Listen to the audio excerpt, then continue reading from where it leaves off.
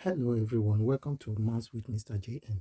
Today we are going to solve this exponential equation which says x raised to the power of 3 plus x raised to the power of 3 plus x raised to the power of 3 equals to 24.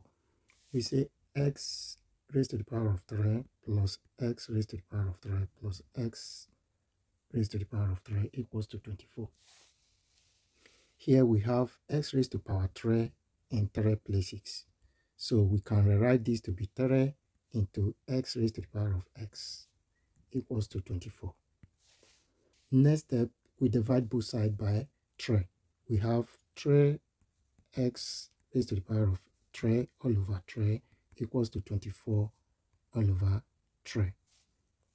3 cancel 3, left with x raised to the power of 3 equals to 3 here, 1, 3 into 24 gives us 8. We can write this to be x raised to the power of 3 equals to, we express 8 in base 2, which gives us 2 raised to the power of 3. We check the powers are equal, the powers we cancel out, left with the base. x is equals to 2, which is the answer. If this helped you, please subscribe, like, and share. Thanks.